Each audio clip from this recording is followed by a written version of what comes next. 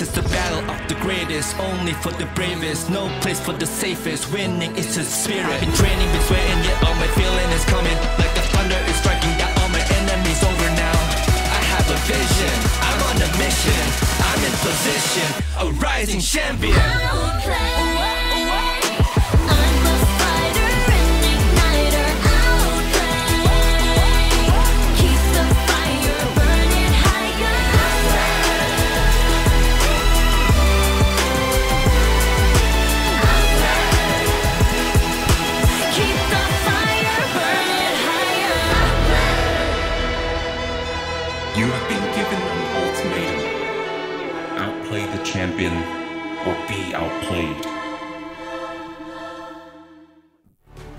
Chào mừng quý vị khán giả đã cùng đến với lễ bốc thăm lượt 2 của vòng Squid State giải đấu APL năm 2024. Như vậy là sau uh, trận đấu vừa qua khi mà đội tuyển à, uh, DCG đã có một trận thắng 2-1 trước Cathay One Team thì chúng ta đã xác định được 8 đội sẽ có mặt tại uh, vòng thứ hai của giai đoạn uh, Swiss State API 2024 đã có 8 đội tuyển ở nhánh 1-0 đó là đội tuyển Hồng Kông Attitude, BMG, Hydra, Flash Group, E Arena, Buriram United Esports, Talon và DCG. Còn ở nhóm uh, những đội tuyển đã để thua trận đấu đầu tiên thì sẽ bao gồm những cái tên đó là Kagentra, FPT Flash, Bacon Time, GG Live, OnStar Esports, Sài Gòn Phantom, TDT và One Team. Rất đáng tiếc là cả năm đại diện của khu vực AOG Việt Nam của chúng ta đều đã phải rơi xuống nhóm 1-0 và ở trong uh, vòng bốc thăm này hứa hẹn sẽ có nhiều những cái cuộc đối đầu khá thú vị. Đúng vậy, đặc biệt là ở nhóm à, 1-0 nơi mà cả khu vực à, uh, RPL hay là GZ ở những top 1 thì họ đều có những sự góp mặt của Ban Mây Gaming hay là Talon Esports. Còn với ở nhóm 01 thì có sự xuất hiện của năm đại diện từ khu vực Việt Nam cũng khá buồn. Thì nên là chúng ta cũng sẽ cần phải chờ xem rằng là liệu có những cặp thi đấu uh, tới từ những đội tuyển Việt Nam gặp nhau hay là không đây. Chúng ta cùng chào đón uh, hai MC và bình luận viên rất quen thuộc đã đồng hành với nhau ở trong uh, uh, giai đoạn bốc thăm 1 đó là MC K Nomru cùng với cả bình luận viên Hiego. Ờ, rõ ràng là ờ, đây là một vòng đây là một giai đoạn bốc thăm rất là quan trọng rồi khi mà đội tuyển nào mà ờ, phải đối đầu với những đối thủ mạnh tại nhóm thua không một sẽ gặp phải rất nhiều những sự bất lợi nếu như đội tuyển Việt Nam của chúng ta mà gặp phải những đối thủ mạnh như là. One Team hay là Bacon Time thì đó sẽ là một cái trường hợp thực sự là rất khó đoán. Đúng là như vậy và nếu để đối đầu với Bacon hay là One Team thì tôi nghĩ rằng à, đại diện tới từ Việt Nam One Star hay là SKP thì đấy là hai đại diện mà chúng ta tự tin nhất để đối đầu với One Team hay là bên phía của Bacon Time. Còn với ở nhánh 1-0 thì chúng ta cũng đang nhìn tám uh, nhìn thấy tám cái tên trên màn ảnh đó là Hồng Kông ATU, Ban Mây Gaming, Hyra Esports, ờ, ở Flashwork, Iarena Arena và Buriram United Esports, uh, Talon Esports và Deep Cross Gaming là những cái tên cuối cùng mà ngày hôm nay họ đã đả bại được quan Team với tỷ số 2-1. Ở nhóm 1-0 có tới 4 đại diện của khu vực abl Thái Lan và 4 đại diện của khu vực GCS Đài Bắc Trung Hoa hứa hẹn cũng sẽ có khá là nhiều những cuộc nội chiến nếu như mà các đội tuyển này bốc thăm cái lá thăm may rủi phải à, chạm trúng nhau. Còn ở nhóm 01 năm đội tuyển khu vực AOG Việt Nam của chúng ta bên cạnh đó sẽ có Kagentra, rồi Bacon Time và cả One Team. Ở thời điểm này thì Bacon Time đã không còn là chính mình nữa rồi khi mà họ chuyển ờ, người chơi đi trợ thủ của mình đó là Tao lên vai trò đi rừng thay thế cho Almond P và có một tuyển thủ mới đó là Dewi thì đấu ở vai trò hỗ trợ và họ đã để thua 0-2 trước đội tuyển Hydra một đội tuyển tới từ, từ cùng giải quân đội đó là APL Thái Lan. Nên ờ, ở thời điểm này có lẽ là chúng ta à, cả năm đội tuyển Việt Nam của chúng ta đối đầu với Bacon Time thì tôi nghĩ rằng là cũng sẽ không phải là một cái bối cảnh nó quá là khó khăn nhưng ờ, cũng sẽ có những cái Cần trường hợp anh ạ. cũng vẫn phải cẩn trọng rồi Đúng vậy. vẫn phải cần phải cẩn trọng khi mà nếu như những tuyển như là TDT hay là FPT Flash những cái tuyển đánh giá là yếu hơn ờ, so với cả GG Live, OneStar Esports hay là Sài Gòn mà đối đầu với Bacon Time thì cũng chưa chắc đã ăn được Đúng là như vậy và ở nhóm 01 thì miếu mời ngon nhất vẫn là Kagenra, một trong vậy. những uh, đại diện tới từ khu vực uh, ASL, uh, cả FPT Flash hay là tất cả bốn uh, đại diện tới khu vực Việt Nam nếu gặp Kagenra thì gần như là chắc chắn có một chiến thắng vào nhóm 11 ở nhóm sau rồi. Nhưng nếu gặp phải những Bacon hay là One Team thì sẽ rất khó khăn, uh, đặc biệt là những uh, TDT hay là FPT Flash còn với ba đại diện uh, GG Live, SKP hay là One Star thì tôi cũng khá yên tâm rồi. Nhưng rõ ràng ở nhóm 01 như vậy có sự xuất hiện nhiều tới từ đội tuyển ở Việt Nam thì tỷ lệ gặp phải những uh, đội tuyển như là Bacon hay là One Team cũng sẽ lớn Trước khi vòng bốc thăm này diễn ra thì à, tôi và anh Khôi cũng đã có những nhận định là nếu như mà chúng ta may mắn, chúng ta may mắn thôi thì ờ, một đội tuyển của Việt Nam sẽ đối đầu với một đội tuyển ở khu vực nước ngoài thì à, sẽ có chỉ có duy nhất một cặp mà hai đội tuyển Việt Nam phải đối đầu với nhau thì đó sẽ là một cái quả kết quả rất đẹp để những cái cơ hội để cho các đội tuyển Việt Nam vào nhóm những đội tuyển có được một cái tỷ số 1-1. ờ, là 1-1 sẽ là tốt hơn rất nhiều.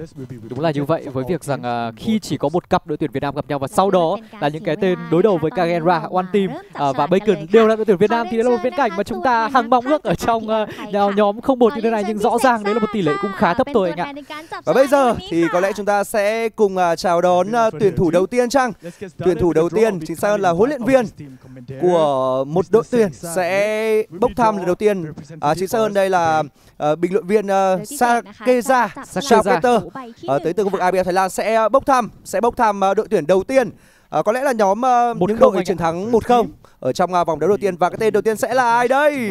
Ai Đó đây? sẽ là đội tuyển DCG đại diện tới từ khu vực GCS Đài Bắc Trung Hoa sẽ đánh trận đầu tiên của nhóm 1-0.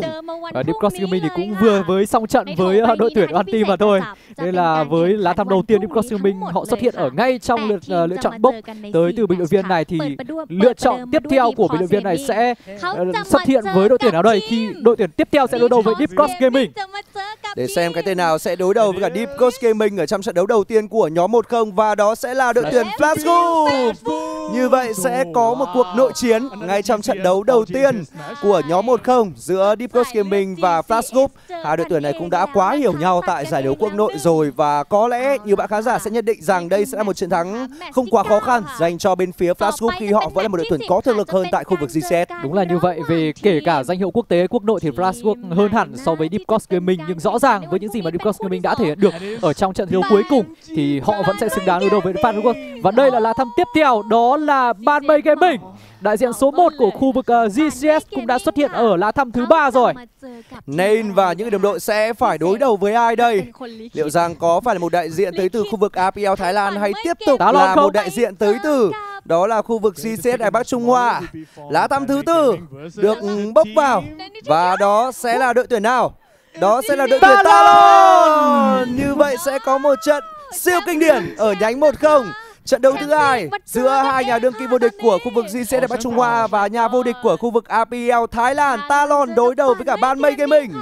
Hai đại diện top 1 sẽ đối đầu với nhau của khu vực RPL và của khu vực GCS, Ban Mây Gaming và Talon Esports.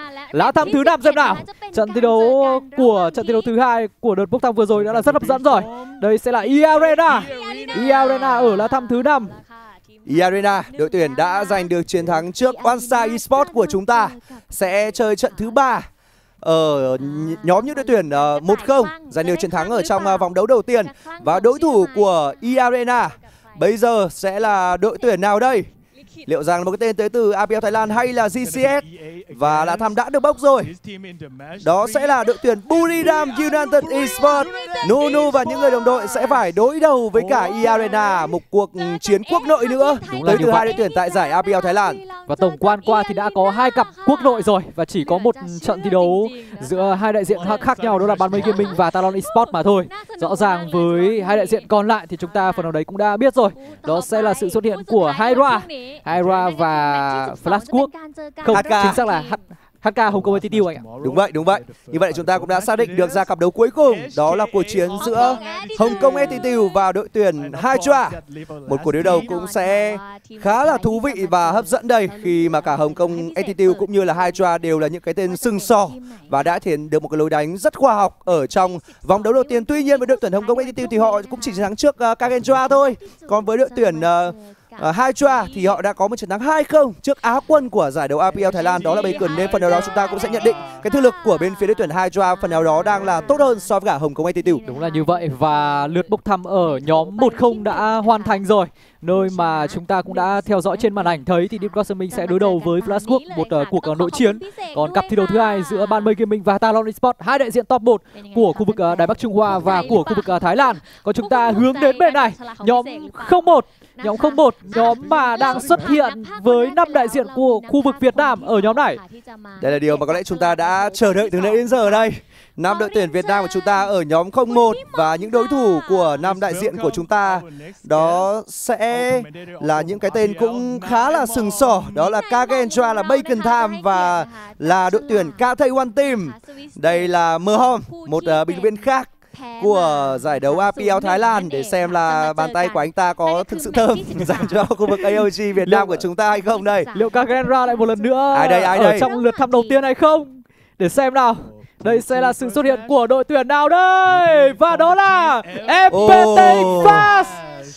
FPT X Flash sẽ đánh trận đầu tiên ở nhóm 01 và đối thủ của FPT X Flash là ai đây? Chắc hẳn là các Fraser, những fan hâm mộ của đội tuyển FPT X Flash đang rất mong chờ bàn tay của vị bình luận viên này Mơ sẽ không? là Kagendra. Đúng vậy. Chắc hẳn là tất cả các fan hâm mộ của rồi. FPT. Flash đều đang rất hy vọng vào đó là Kagendra và đó là ai? Đó là ai đây? Đó Và sẽ là GG Live. Một cuộc nội chiến của khu vực AOG. FPT Flash và GG Live. GG Live nằm trong top 3 ở khu vực AOG ở trong giải gần nhất và FPT Flash ờ, nằm trong top thứ tư. Đây là một cuộc nội chiến tôi cũng nghĩ là khá cân bằng. Khá cân bằng đấy và với việc là chúng ta đã có một cuộc nội chiến rồi thì mong rằng này là những trận đấu tiếp theo sẽ không có nội chiến nữa sẽ là TDT Sài Gòn Phantom và Wansa sẽ đối đầu với cả ba đội tuyển nước ngoài và lá thăm thứ ba ở trong nhóm 01 này sẽ gọi tên đó là đội tuyển One One Team. Team. Cá Thầy One Team sẽ đánh trận đấu thứ hai. Cá Thầy One Team cũng khá mạnh. Thế thì tôi đang mong là Wansa hoặc là Và Sài Gòn Phantom Đúng đi. vậy. Tôi cũng mong muốn là như vậy và cũng rất mong muốn là chỉ có một trận nội chiến thôi. Chỉ có một trận nội chiến thôi. One Team sẽ gặp một trong bốn đội tuyển của Việt Nam nữa. Tỷ lệ 1-1. Nào, để xem là bên phía của One Team có gặp được ờ, đội tuyển Việt Nam hay không đây. Đây sẽ là lá thăm thứ tư ở trong lượt bốc tới từ bình luận viên Mahom. Ai Đây rồi, Bacon Bacon Time. Time. Thôi rồi. Ơi. Và như vậy là ở trong trận đấu thứ hai của nhóm 01 đó sẽ là cuộc đối đầu giữa One Team và Bacon Time. Như vậy là chắc chắn sẽ có hai cuộc nội chiến của khu vực AOG Việt Nam được một cái. Được một cái thì chúng ta sẽ gặp Kagendra. Chắc chắn là sẽ có một đội tuyển gặp Chưa ừm, chắc. Kagendra. Bacon và Kagenra thì sao? Không, Bacon đã gặp On Team rồi anh. À, đây, Bacon đã ok. gặp On Team ở trận đấu thứ hai rồi thì chúng ta chắc chắn là sẽ có một đội tuyển gặp Kagendra. Thế thì anh đang mong, anh đang mong là hai đội tuyển Việt Nam sẽ đối đầu với nhau và một đội tuyển Việt Nam nào sẽ gặp Kagentra đây. Lá thăm thứ năm đó là Sài Gòn Phantom. Sài Gòn Phantom ở trong lượt thăm thứ năm. Vậy là như những gì mà anh Quân nói thì chắc chắn sẽ có một đội tuyển Việt Nam gặp Kagentra. Nhưng trước mắt đối thủ của Sài Gòn Phantom là ai đây? Ở lượt thăm thứ năm thì Sài Gòn Phantom đã xuất hiện rồi.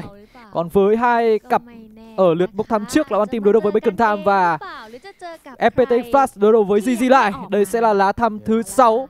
Đồng nghĩa cũng quyết định cặp trận thi đấu thứ tư luôn. Lá thăm thứ sáu ở trong nhóm 01 và đội tuyển nào sẽ được gọi tên đây?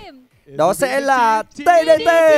Sài Gòn Phantom sẽ đối đầu với TDT như vậy chắc chắn là Onsa Esports sẽ đối đầu với cả đội tuyển Kagentra và trong những lá bốc thăm này thì Onsa Esports thơm quá. Onsa Esports gặp ngay Kagentra ở trong trận đấu cuối cùng của nhóm 01 và gần như chắc chắn là đội tuyển Onsa sẽ bước vào nhóm những đội tuyển đánh ở Nhóm ở 11.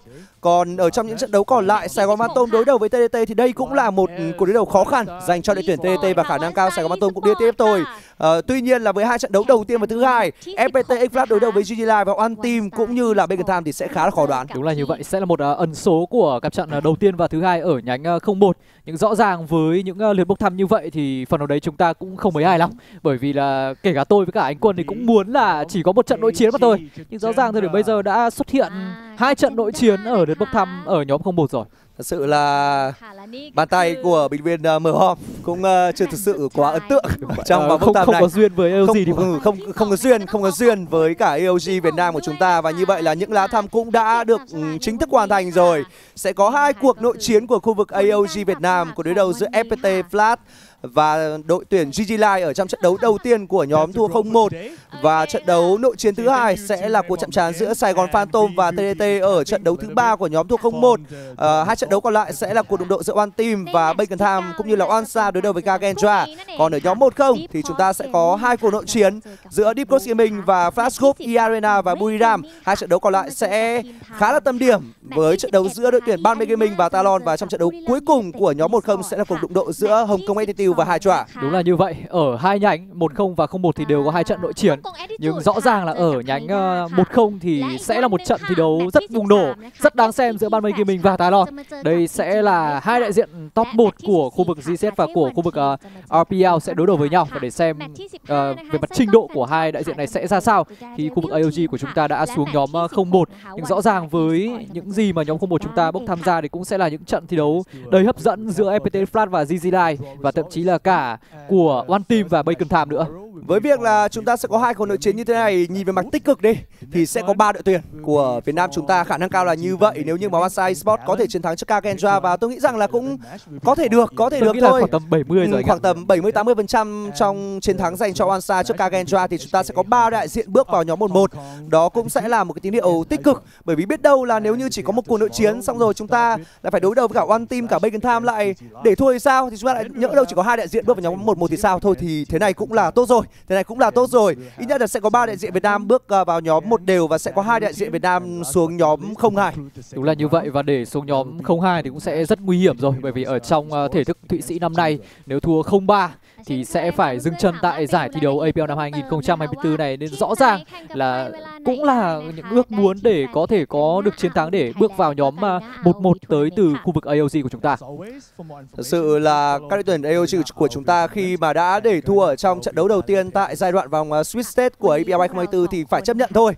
Tầm này thì về một cái trận đấu nào thì cũng phải chấp nhận cả thôi. Sẽ có hai cuộc nội chiến của khu vực AOG Việt Nam ở nhóm uh, 01 và những đội tuyển có khả năng bước tiếp đó là Onsa là Saigon Phantom. Còn trong uh, cuộc nội chiến giữa đội tuyển ờ, uh, GG Live và FPT Flat thì đó sẽ là một trận đấu khá là khó đoán. Đúng là như vậy và chắc chắn chúng ta sẽ có hai đại diện bước tiếp ở nhóm 11 rồi. Còn với trận thi đấu ẩn số giữa FPT Flash và cả GG Live thì cần phải chờ một uh, quãng thời gian nữa đó chính là ngày mai thì chúng ta cũng sẽ biết được những khung giờ thi đấu. Còn với cuộc uh, đại chiến giữa uh, Talon Esports và Ban Gaming tôi nghĩ là cũng cực kỳ hấp dẫn đấy. Đúng là sẽ có rất nhiều các bạn khán giả quan tâm tới trận đấu giữa Ban Mây Gaming và Talon. Đó là những kịch bản của ngày mai còn chúng ta cũng đã hoàn thành giai đoạn bốc thăm của vòng đấu thứ hai tại giai đoạn Swiss State của APL 2024. Còn bây giờ thì xin chào và hẹn gặp lại các bạn vào ngày thi đấu tiếp theo của APL 2024.